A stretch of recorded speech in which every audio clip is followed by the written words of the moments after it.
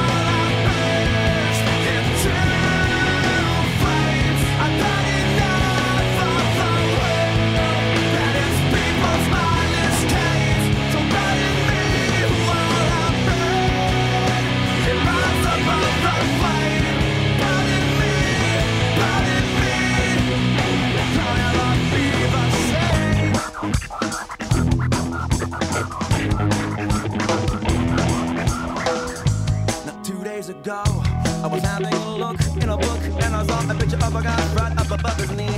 I said, I can relate.